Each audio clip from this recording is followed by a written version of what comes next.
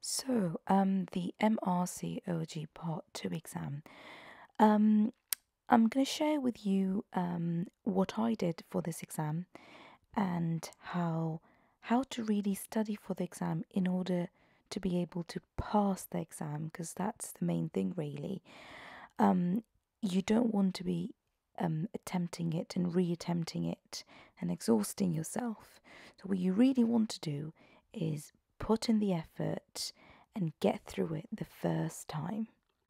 So, in my opinion, um, the reason people fail this exam is because they don't put in the effort that's required um, to to be able to go through all the study material um, that will maximize your chances of passing the exam the first time.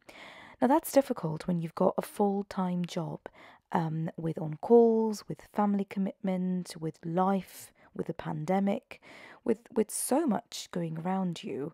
Um, it's, it's difficult to concentrate and focus and, and be able to learn and memorize um, what's required of you to be able to um, attempt um, the exam.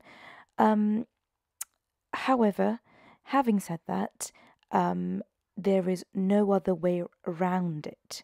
So, what I'm trying to say is um, if you don't, yes, life will carry on and there is a lot happening around you, um, but what you really need to do is sit, focus, and do the exam.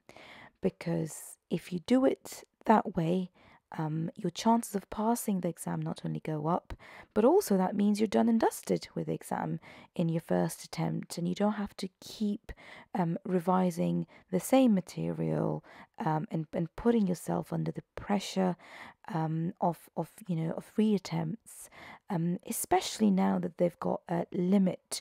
Um, the RCOG have put a limit to the exam as to how many attempts you can you can you can have at it. Um, so my advice to you is put in the effort, and that requires time. You have to be able to give time to this exam. Um, so, what I mean by that is, um, now most people will say an average of six months. Now, that time is quite individualized.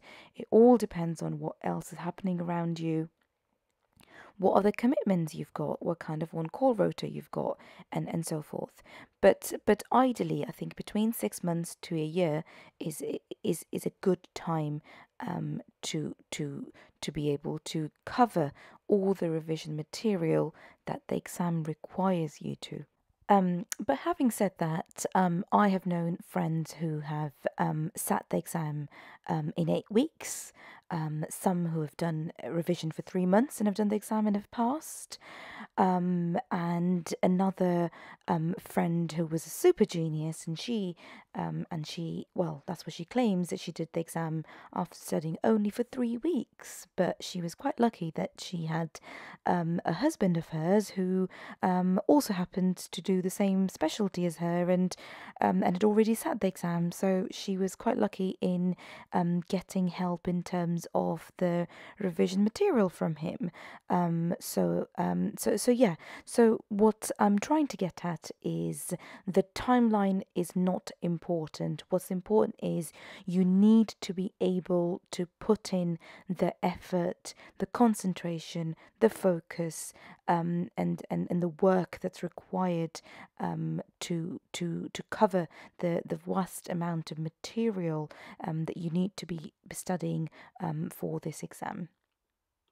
So um, the exam um, consists of two exam papers, paper one, paper two, um, and each paper has got 50 SBAs and 50 um, EMQs. Um, SBA standing for single best answers, and EMQs are the extending extended matching questions. So where you've got a um, a, a, little case study, for example, um, which talks about, um, say, for example, um, you know the um, the consent, for example, and then you'll have questions relating to that case study um, to, to, to it after.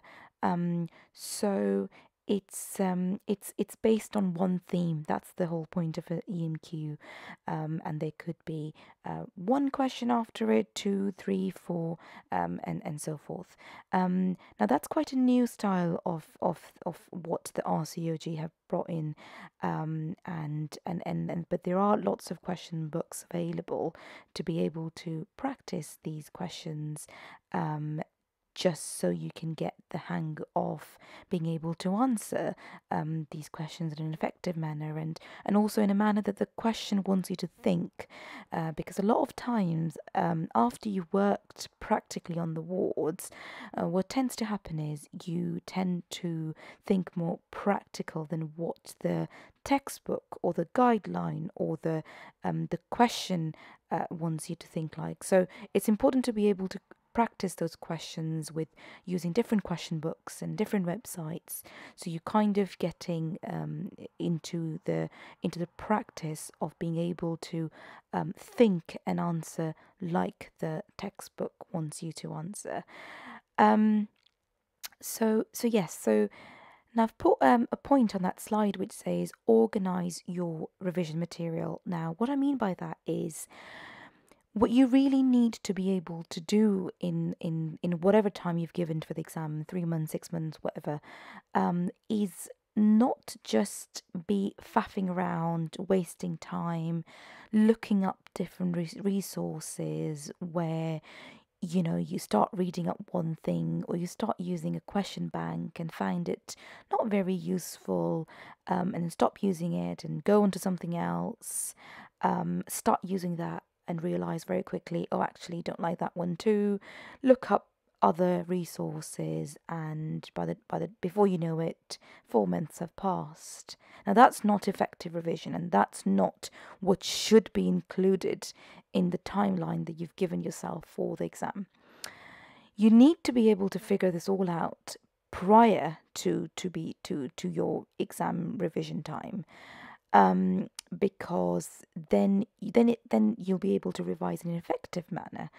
Now, even if you take a green top guideline, so things that you cover quite a lot in clinical practice. So, for example, your um, uh, you know, preeclampsia.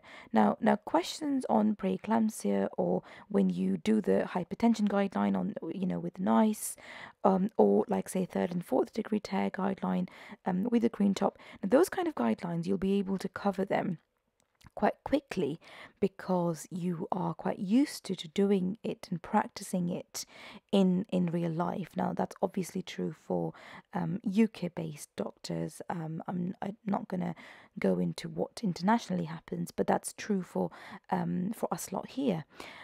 Now when it comes to the guidelines that we don't so commonly use in the UK, um, then you do need to spend more time on these guidelines.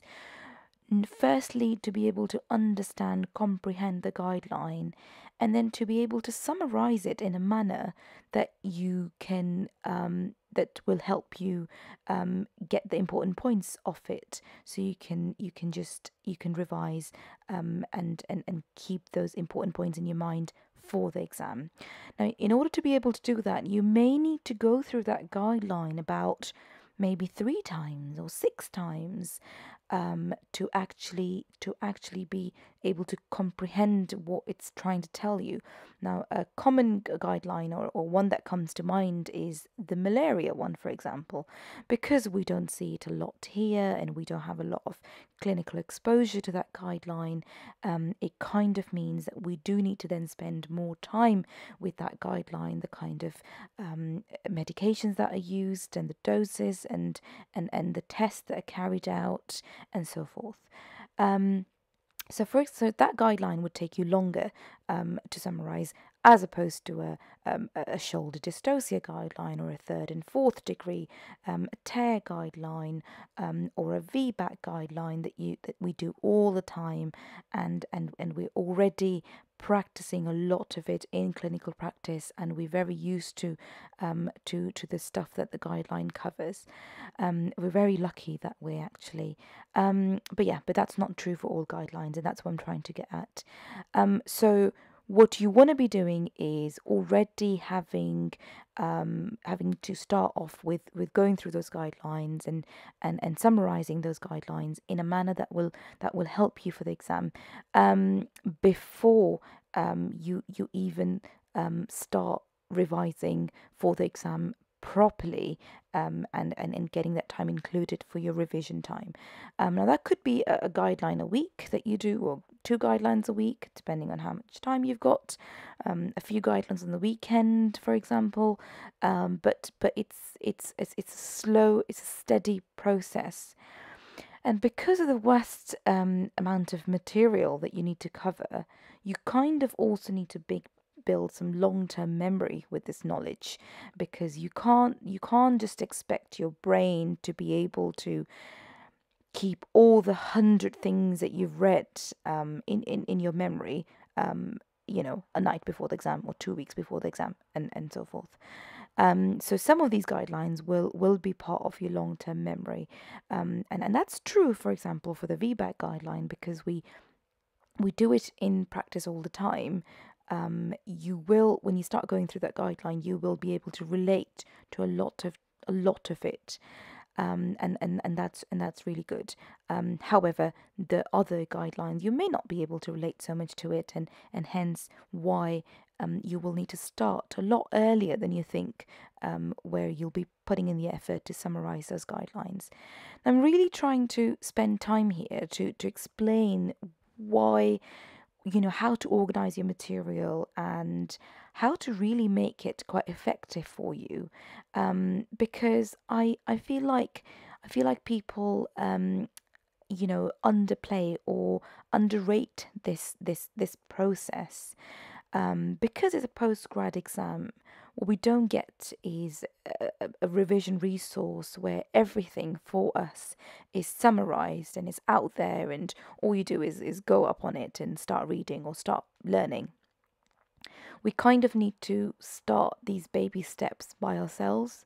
Um, and with the busy jobs we've got, um, a lot of us aren't able to, um, to, to you know, to to be able to do this, um, and and and that's why, and that's where a lot of us um, do find ourselves in trouble uh, when when it comes to then then um, revising for this exam. Now, what I have done on my YouTube channel is, which is revise the basics, is I've already started to um, summarize um, and share with you my revision notes um, from the guidelines and the togs that I covered um, when I sat the exam, just so you can get a flavor of it. Feel free to use these notes feel free to use them as a way to start you off. So when you, so for example, um, the one, the guideline that comes to mind is a shoulder dystocia one that I've just, um, I've put the summary for on my channel. And um, when you go through that guideline on on my channel, you'll be able to see how much of the information that you actually need from the guideline to be able to sit the exam. Um, so so so that's kind of your starting process. And I will continue to do the guideline summary and the tog summary and and I've shared some flashcards and things on my channel as well, which hopefully should benefit you um, because that's that's the kind of revision material that I used. Um, and if you do spot any errors, please, by all means, inform me. Tell me um, in the comment section, um, as, as as I am a human and I can and I can err as well.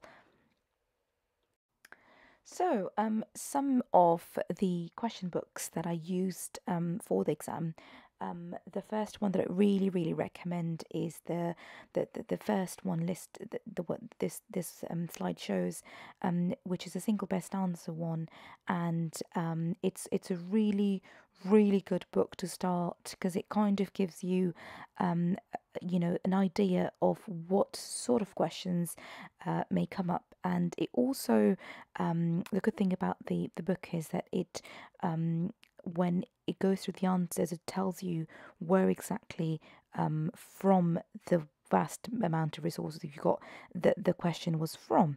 So you could go back and look up that TOG or the Green Top guideline or the NICE guideline or whatever it is. Um, so if you did miss it from your revision, um, the second one there is um, is is a good book. However, it did have some uh, some mistakes in the answers.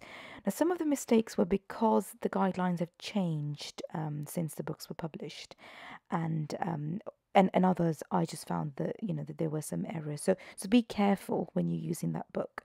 Um, I would say that you um, start off with the first one because that's a reliable one. It's a good one, um, and then the the next the, the second one just leave it for the last. Don't don't start your revision with it um, because initially when you don't know a lot you don't want to be learning the wrong thing and you want to be learning the the right thing as per the guideline um, the third one there, the Amanda Jones one, now that's again a very, very good book. So by all means, um, go over it repeated times so you can you can get the hang of the of the, the kind of questions that um, that are likely to come up, and and and also it kind of um, tells you the depth that you need to know when you're then reading a guideline. Um, so I actually would say that when you're starting your revision, obviously you're planning some resource in the background, but start doing the questions quite early on. Just, just start doing them.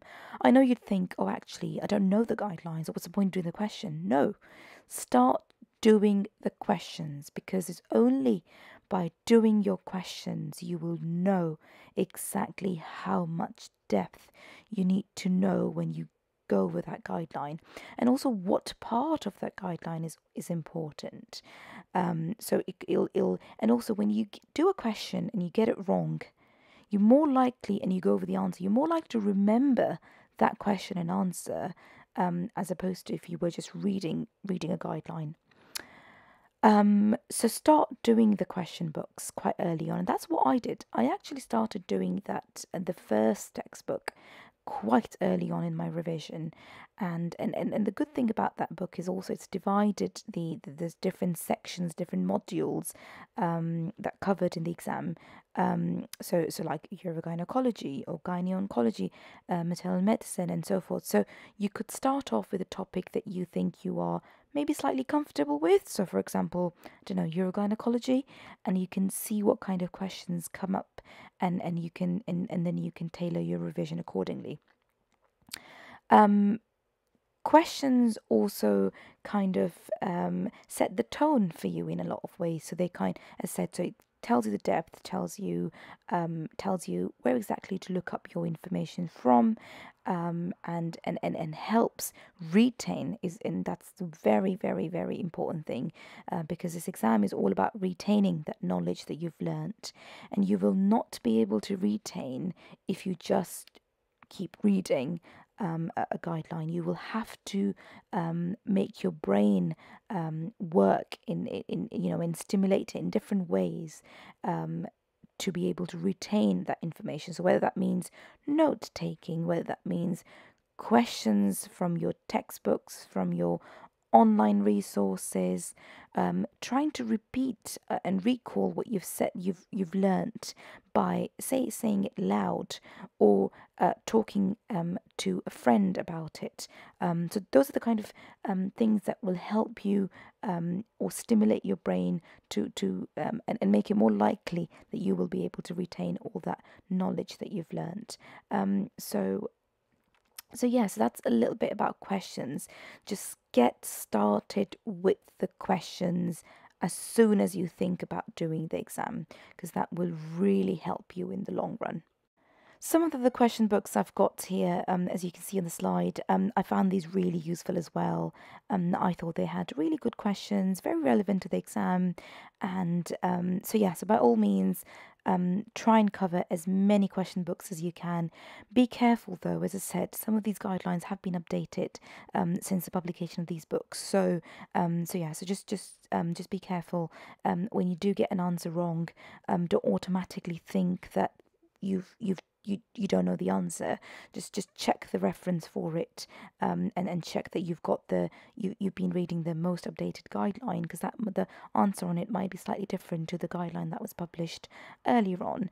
Um but yeah all these books were quite useful and um and and and you know and what um what I'm trying to say is the more question books you do, the more you expose yourself to um, to to the guidelines and to the togs, and as I said, to the way the examiner wants you to think in the exam, and that will really help you in the exam when you're trying to then answer um, the questions and the togs um, because because there is a lot of material um, that you will need to read. But by doing the questions you're kind of setting yourself a good base already um, and, and and that that would really that really helps. So on this slide um, the first book that I've got the green one um, it's actually now this book has got lots of numbers in it and again it's got lots of reference from the actual guidelines and the togs. And i found this resource very very useful um, so by all means um, probably not um, do it as the first um, book that you were doing for the exam because it does require you to have some knowledge from the actual guidelines. So so probably start off with the, the, the blue one that I was talking about earlier and then and then slowly as you're reading and getting your knowledge pool up, you can then try and answer some of the questions from this book.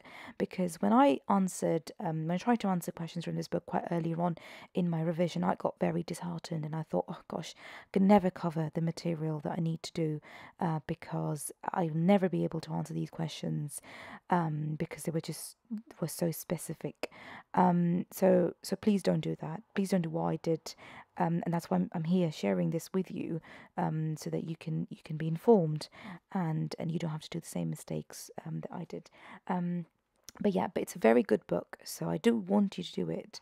Um, but probably once you've had a, a bit of your knowledge base.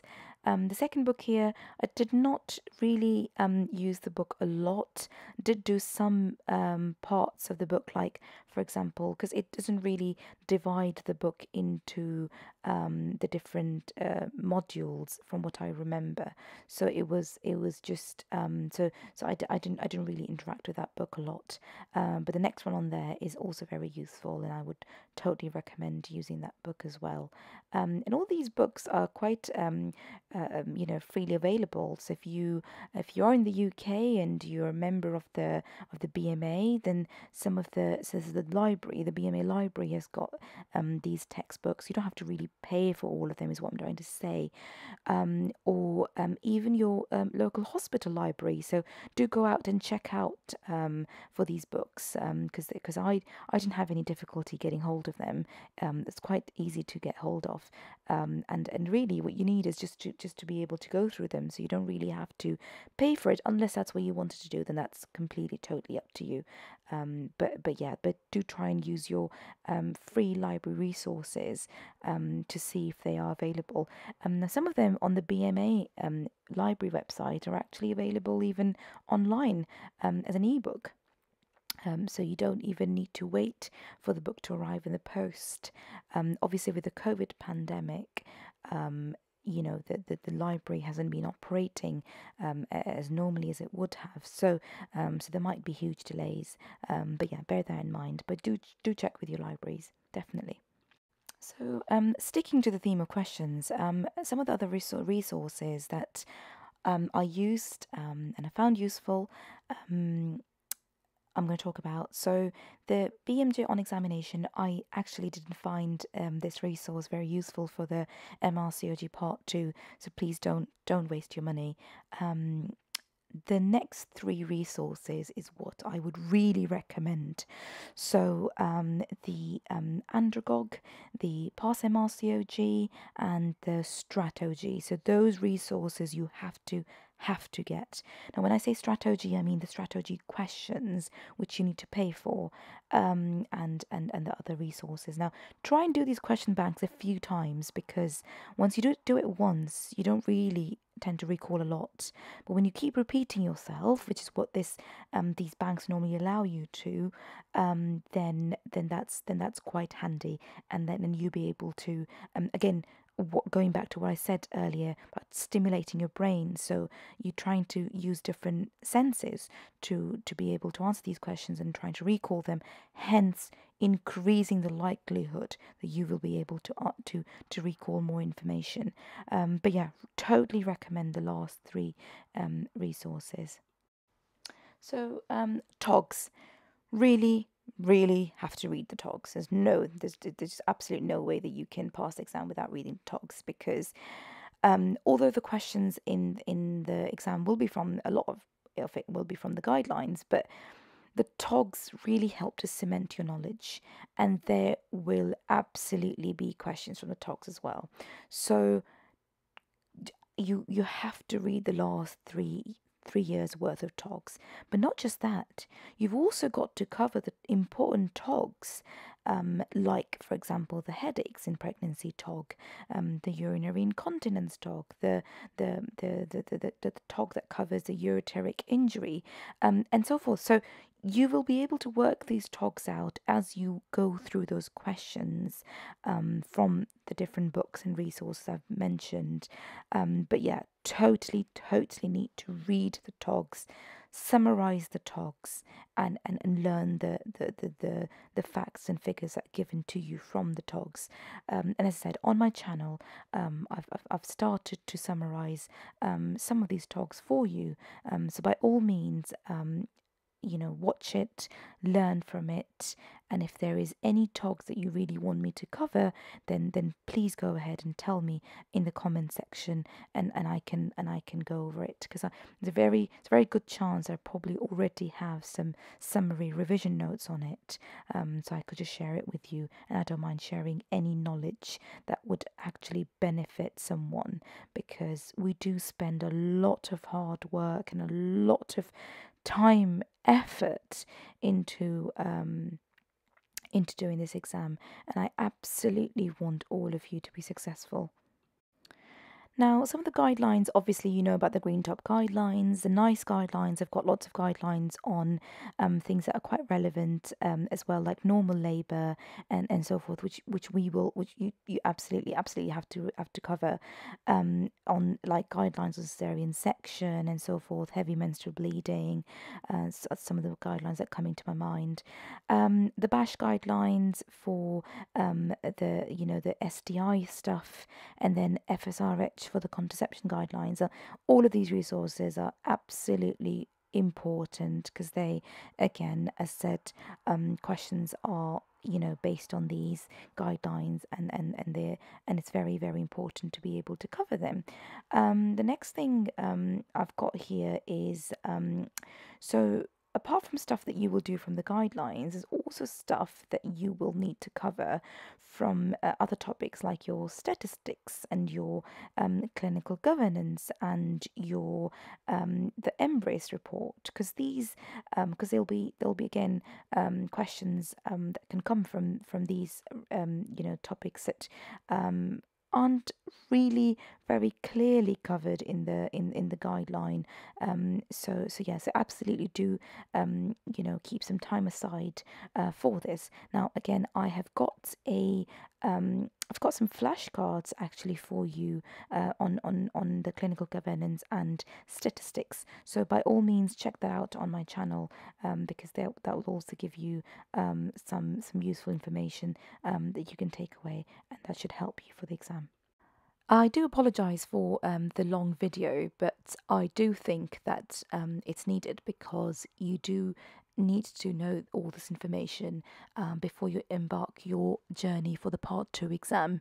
Um, so please benefit from this, from this knowledge that I've shared with you, um, because I wish someone had um, had, info- had you know informed me about this. Um, but yes, if you do want me to do another video where I talk about the togs that I did for my exam um, or the Green Top guidelines, and and exactly which guidelines are the nice and all and and, and all that you need to cover, then then I'm quite happy doing that. And please please leave that comment in in the comment section. But please like um, uh, this video if you found anything about it useful. Um, also subscribe to my channel um, so you can benefit more um, from from videos like these. Um, but but yeah, happy revising.